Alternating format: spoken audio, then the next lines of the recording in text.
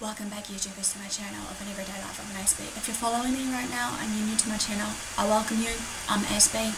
I'm all about creating mental health and awareness, sharing my life stories as well of OCD, Asperger's syndrome and the like, along with tips and advice along the way on how you can manage and cope with these everyday situations of your medical conditions, regardless of what they are. And I'm hoping that regardless of it all, give and take, just to give me a form of respect on it, because obviously some of the treatments I've been using, or therapies, or whatever I have shared in the past, does work for me, and it may work for you, or may not. But it's just a matter of just, you know, me being able to do the same thing for you guys, respecting of your guys' treatment, but just bear that in mind and also maybe I just firmly suggest maybe just to take a little by little of these tips and advice of what I share with you or of some treatments that I have shared and see if it will work for you but just remember it won't happen in a day to help you because it's all in the motivation tool in our head. So it has been brought to my attention obviously that I'm trying to do some of the nitty gritty details of some of the topics right now especially the one of domestic violence versus basically you know emotional abuse and all of that as well as some parts about the psychopath sociopaths, psychopaths and narcissists so that we can get a clearer understanding when we're in an abusive relationship of the warning signs so that we can seek help for ourselves to keep us safe as well as if we've got any kids while we're in that form of relationship that we can keep our kids safe as well. But in order to do guys, obviously I know I'm going to get a bit of hate probably through this or whatever it may be but like I said this is something that is really what I am truly strong about a strong firm believer that you know females or males depending who's the abuser or victim shouldn't have to tolerate with this and they need to feel safe obviously free from harm and everything else. So this one's obviously going to be called psychopath and sociopath. What is the difference? So hopefully you're liking some of these videos. Smash the like to show the engagement or comment below just to let me know. Feedback is, would be really great here also maybe just to comment below also if I've missed out any key information or just maybe just for you guys to open up the floor of discussion for you guys that is relevant on these topics that I share that you can share your life stories and how you came about knowing the narcissist or what have you and how you actually went about it or if you just feel that you know I should be the one sharing the stories or whatever you know by all means, that's fine. Or even if you just feel that you're still trapped in that relationship or feels don't forever fret. There is hope out there. There is, you know, help as well. So be in mind though, however, whatever it may be. So as I said, let's begin this before I run out of time since I'm jabber jabbering. The first question is, what is a psychopath? Obviously, a psychopath is a person that is suffering from chronic mental disorders with abnormal or violent social behaviours. It could be a madman, mad woman, mad person, or deranged person. That's what it's labelled as in one of the dictionaries I was reading. Can't remember what the dictionary was. So, how to tell if you're dealing with a sociopath or a psychopath? There has been many years now been clearly suggested by many forensics psychologists, psychiatrists, and criminologists that use this term sociopathy and psychopathy interchangeably, however, with this two, these two terms, obviously. And it has been lead to experts that they may have been for some time lead to some disagreements on whether there are meaningful differences, differences and differentiations between these two conditions. There are, however, clear and significant distinctions between them. Obviously, in the fifth edition of the Diagnostic and Statistical Manual of Disorders, Mental Disorders, DSM-5, which I'm going to share more about this and the DSM-4 maybe later on, based on the autistic part of things as well, is that this has been released obviously by the American Psychiatric Association in 2013 has listed both sociopathy and psychopathy psychopathy under the heading of antisocial personality disorders on which I've clearly already addressed on my channel. These disorders share many common behavioural tra traits which leads to the confusion between these terms. These key traits that sociopaths and psychopaths share may include 1. A disregard for laws and social mores 2. A disregard for the rights of others 3. A failure to feel remorse or guilt 4. A tendency to display violent behaviours. towards others. In addition to their com- commonalities, sociopaths and psychopaths, however, also have their own unique behavioural characteristics as well. Sociopaths tend to be nervous and easily agitated. They are volatile and prone to emotional outbursts, including fits of rage. They are likely to be uneducated and live on the fringes of society, unable to hold down a steady job or stay in one place for a very long time. It is difficult but not impossible for the sociopath, however, to form attachments with others. Many sociopaths are able to form an attachment to a particular individual or group, although they may have no regard for society in general or its rules in place. In the eyes of others, sociopaths will appear to be very disturbed. Any crimes committed by a sociopath, including murder, will be tend to be haphazard, disorganized, and spontaneous rather than planned. On the other hand, psychopaths are unable to form emotional attachments or feel empathy with others, although they may often have disarming or even charming personalities. Psychopaths are very manipulative and can easily gain people's trust. They learn to mimic emotions despite their inability to feel their own or feel, feel their actual emotions and will appear normal to unsuspecting people. Psychopaths are often well educated and will hold ste- steady jobs. Some are so good at manipulation and mimicry that they have families and other long-term relationships without those around them ever, them ever suspecting their true nature. When committing crimes, however, psychopaths carefully plan out every detail in advance and often have their contingency plans in place, unlike, for the other hand, the sociopathic counterparts. Criminals are cool, calm, and meticulous. Their crimes, whether violent or non-violent, will be highly organised and generally offer few clues for authorities to pursue. Intelligent psychopaths may make excellent white-collar criminals and con artists due to their calm and charismatic natures. The cause of psychopathy is different than the cause of sociopathy, however. This has been believed that psychopathy is largely is is largely the result of nature, which is your genetics, while sociopathy is more likely the result of nurture, which is the environment. Psychopathy is related to the psychological defect that results in the underdevelopment part of the brain, which is responsible for the impulse control and emotions. Sociopathy, on the other hand, however, is more likely the product of childhood trauma and physical slash emotional abuse. Because socio Psychopathy appears to be learned rather than innate. Sociopaths are capable of empathy in certain limited circumstances, but not in others, and with a few individuals, but not others. Psychopathy is the most dangerous of all antisocial personality disorders because of the way psychopaths dissociate emotionally from the actions, regardless of how temporal those actions may be. Many prolific and notorious serial killers, including the late Ted Bundy and John Wayne Gacy and Dennis Rader, bind torture, kill, or BTK, are unreversible psychopaths. Psychopathic killers view their innocent victims as inhuman objects to be tormented and violated for their own amusement. Okay, question is you may be asking, how can you tell that you are actually dealing with a psychopath? Over many years, neurobiologists have identified several factors that are highly correlated or associated with the violent behaviour in people, which is first the failure to develop adequate coping mechanisms in childhood and associated with violent behaviour to later in life. Second of all, neglect and abuse by caregivers during childhood is linked to an increased risk of adult violence.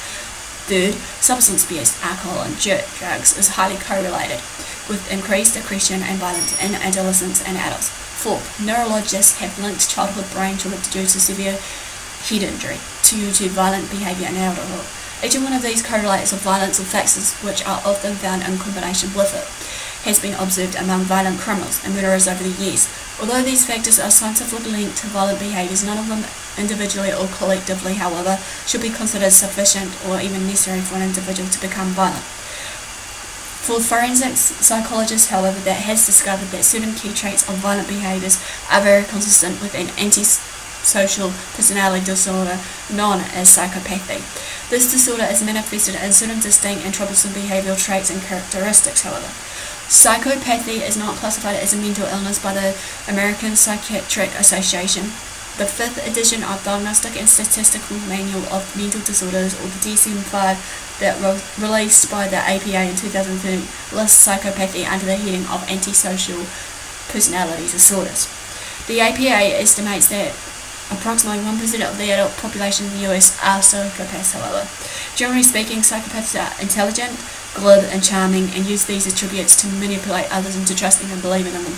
Because they often have strong interpersonal skills, psychopaths can present themselves quite favourably on a first impression basis and often function very successfully in society. However, a number of attitudes and behaviours common to psychopaths are distinctly pred- predatory in nature. They tend to view others as either competitive pre- predators or prey.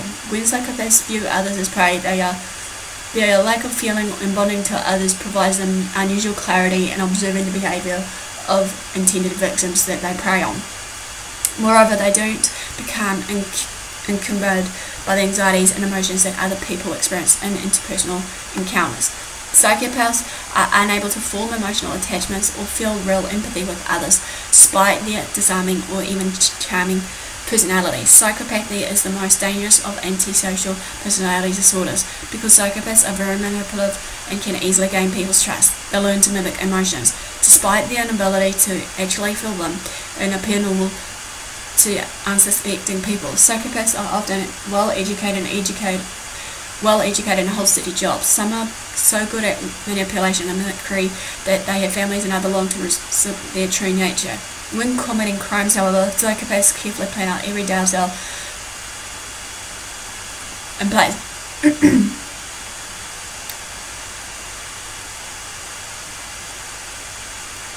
carefully plan out every detail in advance and often have conscious plans in place. Psychopathic criminals tend to be cool, calm, and meticulous. They make few mistakes and are never undone by their emotion. Not surprisingly, though, psychopaths are overrepresented among serial killers in the past and maybe present among serial killers. When a psychopath becomes a serial killer, he or she will most likely be found among the FBI's organised killers who tend to be cold-blooded, meticulous planners. Charming, unflappable psychopath, Ted Bundy is a classic example of a poised, articulate and highly organised serial killer. It is believed that psychopathy is the result of nature, like I said.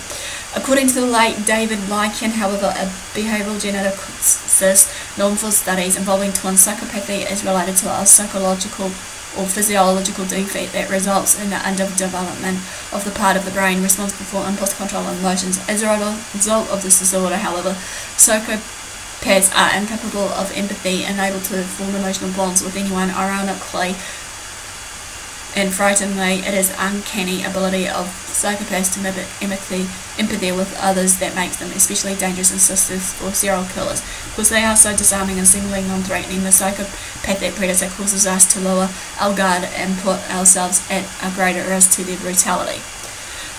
So, a question I want to ask you all is, are you dating someone who is a psychopath? Tells that relationships can disrupt life and introduce inflammation infinite waves of abuse and pain. It is not uncommon, however, for individuals who have never been involved in this type of romance to wonder if their partner has this disorder. Could there be an underlying neurological cause for the violating of dangerous behaviours? Violating or dangerous behaviours? For some, the answer is yes.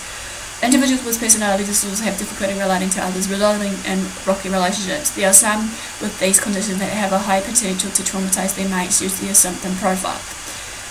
The partners of individuals with psychopathy, narcissistic personality disorder, borderline personality disorder, and antisocial personality disorder are often left with emotional and physical scars. For many of us, it can be difficult to determine if our partner is healthy or if their behaviour patterns are indicative of a problem. Below are a few red flags that many psych with psychopathy have in their past to demonstrate when they interact with others. It is important to note that it's not a list of diagnostic criteria of psychotherapy, it's just a matter of knowing when this is happening and whatnot. So, 16 flags are 1. I am superior. Individuals with psychopathy often convey to their mate that they are superior no, you're superior and the partner is not good enough, e.g. you're stupid, too emotional, fat, insecure, always holding on to the past, paranoid, crazy. Within relationships of this form of type, this partners often feel inferior, worthless, or less than. Their mates often keep off balance, chasing after what they think will appease the disordered partner. Two, you bore me. I hate you. I love you. No, I hate you. After the honeymoon stage, they are often disinterested, disrespectful, and abusive. Some will introduce their partner to a rollercoaster style relationship, break up and then reunite, repeat. For many involved with a psychopath, the disrespect immediately shifts into abuse and creates a traumatic relationship for the victim for their victim. Given that the brain has a reaction and can be changed by trauma and abuse, many of their partners are left with depression, anxiety, substance abuse, alcoholism, and complex PTSD. Sadly, some individuals have resorted to suicide after these relationships. 3. I'm never responsible for anything bad that happens or anything bad I have done. That's the rule. Externalizing blame is quite common for individuals with this personality style. When a problem cannot be wiggled out of with deception, when reframing the violation as a mistake, joke, misunderstanding, or you are hypersensitive and essentially are responsible for the act. Grooming.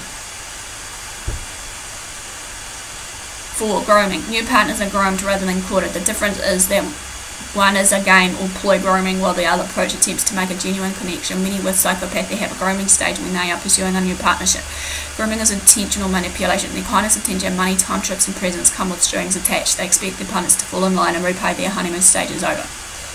Their past may include many romantic partners due to a tendency to become bored easily and an inability to bond after the excitement has worn off. They seek out new partners. There may have be an overlap between mates or affairs while still within a serious relationship, however. When in the act of grooming a new talent, they might refer to ex-mates as good friends. Their code for an ex-partner they does they feel doesn't hold them accountable or bother them regarding the abuse of the inflict, they inflicted on or crazy their code for an ex-partner they traumatize and wants closure, revenge or currently seeks to hold them accountable for the abuse. Extremely sensitive towards self. Who's number six, I think I'm up to. Bear with me. extremely sensitive towards self, extremely insensitive towards others. I matter, you don't, and since you don't matter, don't think of giving an opinion about me. Although they usually come across as puzzled, narcissistic, and callous, it is often surprising to others when they witness the extreme hypersensitivity psychopaths demonstrate when they feel criticized, to or challenge. It doesn't stem from insecurity and are not interested in appeasing others. It is primarily associated with their belief in their superiority and power. They are intolerant of their weakness being highlighted or anyone speaking to them in a manner that implies they are inferior or weak. Many with psychopathy will attack anyone will feel committed such as infraction. I'm the winner always. For individuals with psychopathy, there has to be a winner and a loser. Being a winner is very important to them. They rarely accept being in a lesser position regardless of how small the situation is. This, of course, poses a problem given that relationship of all types require cooperation and at times submission or contribution. You might feel like you are losing your mind, thinking abilities and confidence begin to weaken. For those who have been in relationships of this kind for extended periods of time, it is not uncommon to experience problems with thinking, memory, concentration, attention, motivation, and organisation may begin to feel compromised. You might feel scatterbrained, less efficient overall, and flooded with anxiety, power control, and domination. They enjoy degrading, humiliating, dominating, damaging, and belittling others. However, most will not tolerate those traits being pointed out to them. This could easily result in an aggressive reaction, which is rage and punishment, lies, secrets, and deception. Deceptive and manipulation of Deception and manipulation are common for those with psychopathy. They lie overtly as well as by omission. The lies can be minor or of significant magnitude, e.g. secret children, current marriage or mate, and dinner that isn't true. Questionable morals. This is often long-standing pattern of social transgressions and poor morals.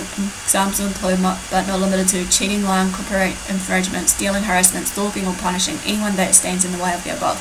Shallow and superficial emotions. These superficial Social interactions often shallow and far exceed their capacity for deep relationships. For example, they will treat a stranger better than their spouse if it makes them look powerful and a source of envy. Neither one is, but I'm the victim here. This is a form of manipulation that is often implemented when they interact with empathetic individuals. When they have compassion for someone, we are primed to excuse their transgressions. Individuals with the capacity for empathy could potentially be manipulated to adopt the stance of hurt people hurt people. Individuals with psychopathy use this mode of manipulation for precisely that reason alone. It lets them off the hook for behaviour they truly intentionally engage in for their own gain. Triangulation. New partners may find themselves in competition with old partners, requires lessons and basic social skills regarding kindness and respect. You find yourself telling him or her the bare basics of human kindness, fairness, and how to treat you, e.g., don't speak to me that way, please stop lying. Why do you have to be so harsh and mean to me? If a person has empathy and absence of psychopathology, we don't need to do this type of teaching for anyone over 7 years old. Very little you do is right, no matter how hard you try. There were there may be accusations regarding your sensitivity, lack of understanding, intrusiveness, or unworthiness as a supporter partner. Example, your outfit is trampy, the house isn't clean, you don't look good anymore. Why you're so sensitive, it's annoying. Any requests or demands you make on the relationship are framed as attempts to control. For example, normal, constant, and acceptable checking in that is common between couples associated with respect and love might not be tolerated by someone with personality style. So, you may be questioning now how do you know that you're dealing with a sociopath? Over the years, neurobiologists have identified several factors that are highly correlated or associated with violent behaviour in people. First, the failure to develop adequate coping mechanisms in childhood, which has been associated with violent behaviour later in life. Second, neglect and abuse by caregivers during childhood have been linked to an increased risk of adult violence. Third, substance abuse, alcohol, and drugs is highly correlated with increased aggression and violence in adolescents and adults. Fourth, child has brain trauma due to severe head injury during childhood has been linked by neurologists to violent behaviour in adulthood. Each of one of these correlates of violence that's is factors which are often found in combination with it has been observed among violent criminals and or murderers over the years. Although these factors have been scientifically linked to their violent behaviour, none of them, either individually or collectively, should be considered sufficient or even necessary for an individual to become violent. In order to understand violent behaviour, it is necessary to know some fundamental principles about human personality first. The personalities of people represent who they are and how they behave. Personalities result from genetics and upbringing and reflect how people view the world and believe the world views them. Personalities dictate how people interact with others and how they cope with problems both real and imagined. Human personalities develop and evolve until sometime around their late 20s. After that, human personalities are hardwired, static, and can be altered. Forensic psychologists have discovered that certain key traits of violent behaviors are very consistent with an antisocial personality disorder known as sociopathy. This disorder is manifested in manifested in certain distinct and troublesome behavioral traits and characteristics. Sociopathy isn't classed as mental illness. Again, obviously, sociopathy is listed basically under the heading of antisocial personality disorders. A, the APAE estimates that there are approximately 8 million sociopaths in the US alone. Therefore, many of us may know one and may be related to one or intimately involved with one. Sociopathy is characterized by the following personality behavioral traits. A disregard for laws and social mores, a disregard for the rights of others, a failure to feel remorse or guilt, a tendency to display violent behavior and emotional outbursts. Sociopaths tend to be volatile. That is, they tend to be nervous and easily agitated or angered. They are volatile and prone to emotional outbursts, including fits of rage. In addition, they may be uneducated and live on the fringes of traditional society and unable to hold a steady job. And they're often frequently transit, transit transients and drifters. It is difficult but impossible for sociopaths to form attachments with others. They are capable of bonding emotionally and whatnot.